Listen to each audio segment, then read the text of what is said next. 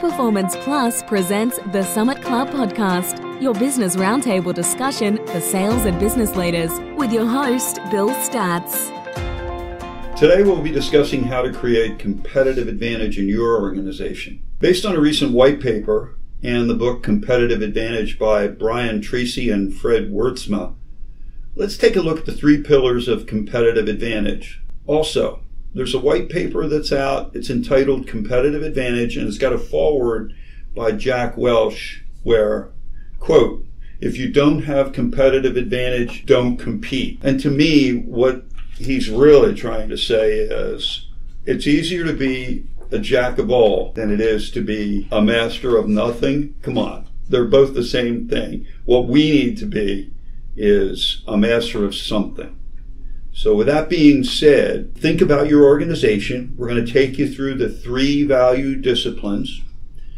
And keep in mind that if you and your leadership team and your organization are serious about using the assets your company has wisely and effectively in your marketplace, your team has to choose your customers carefully and they have to present a value that you intend to create for them. And then the entire organization has to be behind delivering that value to the customer. Let's start with the first value discipline operational excellence. Efficiency, costs have been wrung out of it. It's a good quality product, good value, no extras, no extravagant add ons. Second discipline product leadership. That's all about innovation developing and growing something that didn't exist before. The last pillar of value discipline, customer intimacy. It's building a relationship, friendship, if you will, with your customer to create a competitive advantage. So let's take them one by one. We'll have our team at the Business Roundtable talk a little bit about some examples that they think fit that particular discipline. And our goal today is to give you an overview of the whole value discipline concept and set you up with enough information that you'll be able to explore future podcasts that will deal with each one of these value disciplines individually. So, I'll ask the question to the team around the roundtable. What is operational excellence? Where there's incredible efficiency, lots of effort in performing at the lowest cost possible and still providing a great product or service. What do you think?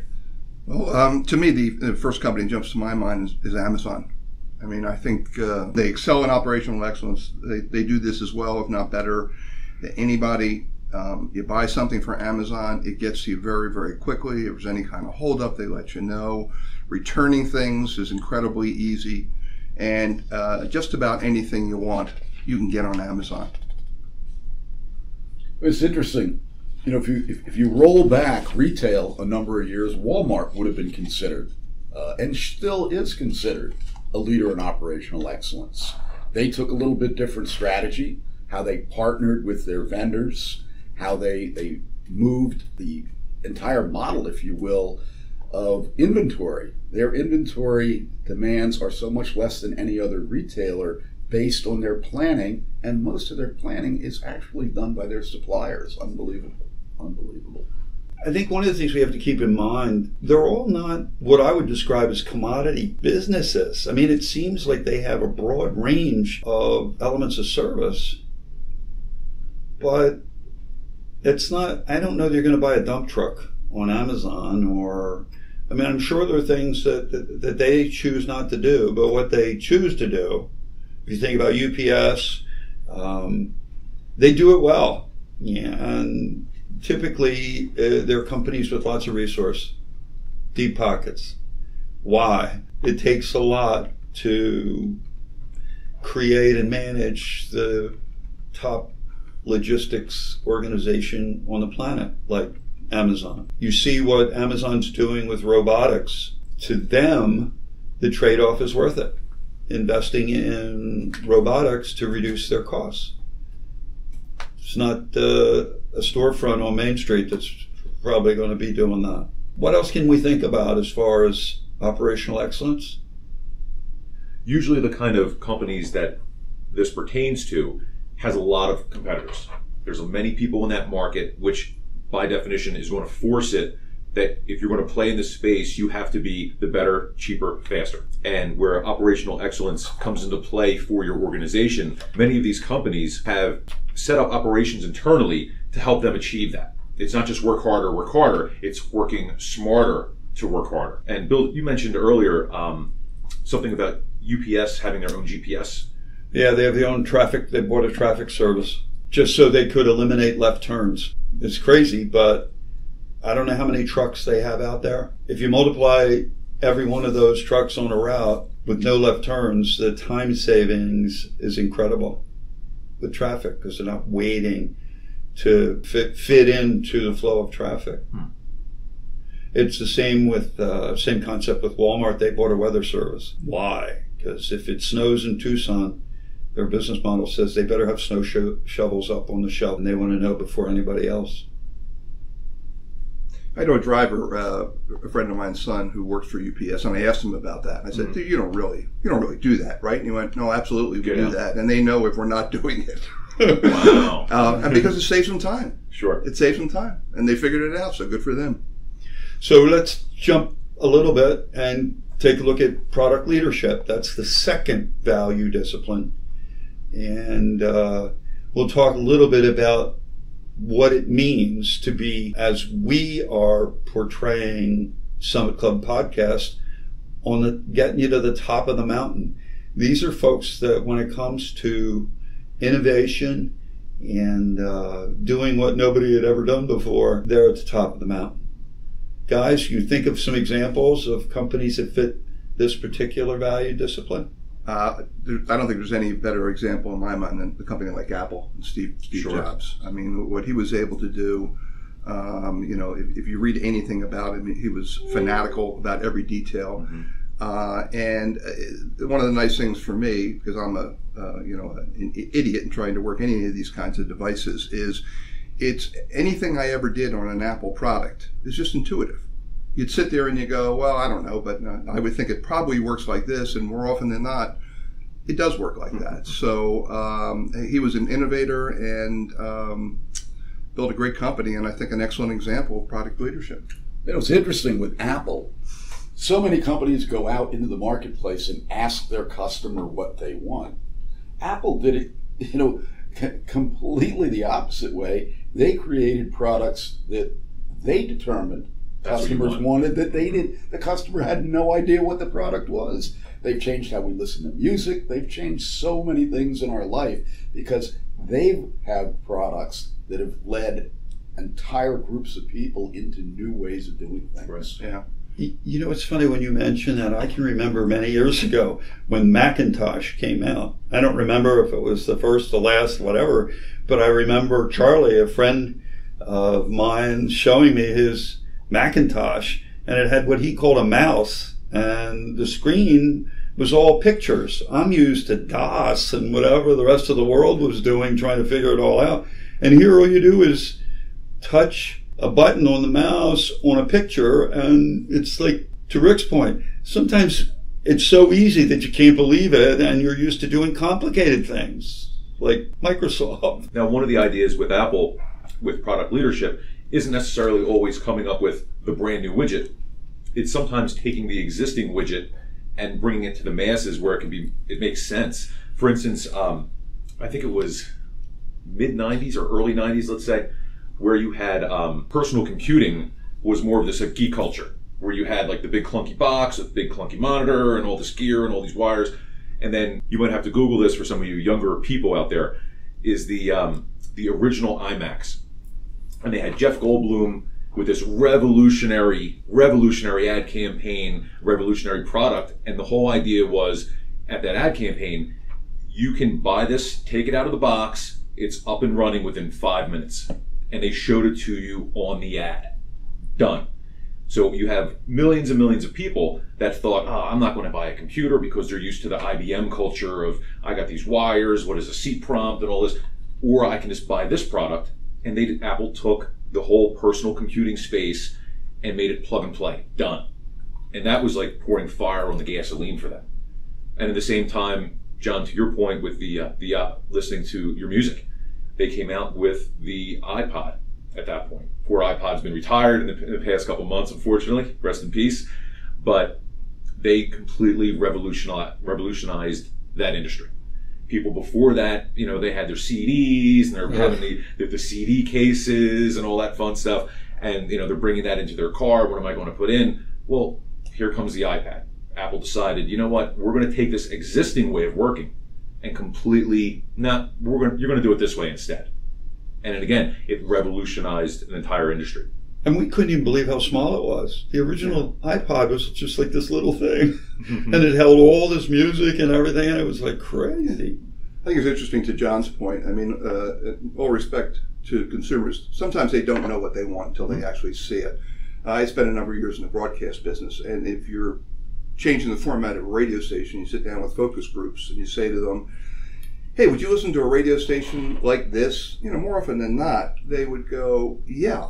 But the problem there is until they actually hear it in their ears and can interpret it, it, it really, really has no meaning. So you can do research to get and look at opportunities, but some, at some point you have to go, okay, this makes sense to us. We're going to do it, and then let the, the consumers and customers react after they actually see the product. Interesting. You know, another company that, that leaps to mind when it comes to product leadership is Tesla. You bet. Mm-hmm. I mean, well, I mean, Tesla has changed the automobile industry in such a way. I mean, companies that have been around for 100 years now are talking about going all electric in Right. the next two to three years. Oh. And just recently read a great article uh, in the Wall Street Journal, and they talked about the future of the automobile industry. This was because of Tesla. In the future, will people be buying automobiles from traditional automobile companies that we know, or we, will we be buying our automobiles from technology companies? Mm-hmm. That's, where it's all going anyway. With the way this is, there's there's more tech than it used to be. Four gauges, a, a stick shift, and, and pedals. Now it's like NASA when you get into your car. There's Yeah. all the you know there's the touch screens and everything else Yeah. in, in play. It parks itself, can drive itself. Marriott's another example. You know, there were no such thing as business. We'd call it a club or a group or an association or a membership concept in the hotel business until Marriott came along. And all of a sudden, you have access to different perks at the hotel. You get points. Nobody had ever really done anything like that before. How about Disney? Just think of what Disney did to before Disney, the entertainment thing looked like the ice capades and the circus, Mm-hmm. right? Yeah. yeah. So if we take a look at the kind of company that would focus on or qualify for a value discipline of product leadership, what are we thinking? Guys, what I think it's more of a high risk proposition because you're really putting yourself and your company out there deciding this is what your customer needs to buy, even if they don't realize they need to buy that yet. So it's uh, you really need to have your A game on in order to play in that space, or just be pre- be prepared to have a fall in case that great big idea isn't really that great after all. It also, to me, um, you got to be comfortable being first because everybody's going to take a shot at you. And all of a sudden, you just think of all the different products that someone came out with that didn't exist before, and you've got all kinds of foreign contribute uh, competitors uh, duplicating or trying to duplicate what you did, and in many cases, without the quality, they kind of almost create turbulence or static in the marketplace. So you got to be ready for that. You, you also have to be a real innovator. Uh, and, and I think this would, would be, in my mind, one of the value disciplines that really, really isn't for everybody. Sure. I mean, not everybody is an innovator. You look at what Tesla did and what Apple did. Um, it, it's again, it's just not for all of us. I mean, even with uh, the Tesla space, there was I think it was Fisker that was that was one of the other original ones. I think Mhm. they actually came a little bit before Tesla, Yeah. and they just didn't have the momentum. Poured Or the buckets- resources. Yeah, they just poured buckets of money into it, and it was awesome. They had a couple cool projects out there, and failed. It's funny you mention that because they've reincarnated themselves they under Karma. I don't know whose money is behind them, but I was behind a Karma yesterday and I couldn't figure out at a distance. It kind of looked like a, the back of a new Corvette, but it kind of didn't. And when I pulled up behind it, sure enough, it's got a Karma logo that's not real recognizable and on the right rear part of the trunk it says Karma and it's beautiful but wow it I, I, it destroyed the first one just trying to build it Well, so much of this category has to do with confidence, product knowledge, and timing. Yes. You bet.